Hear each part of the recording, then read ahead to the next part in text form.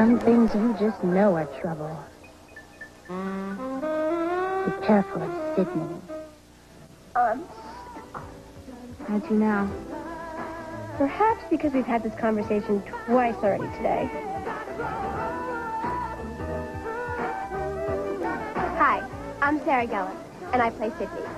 Catch Swans Crossing right here on K5.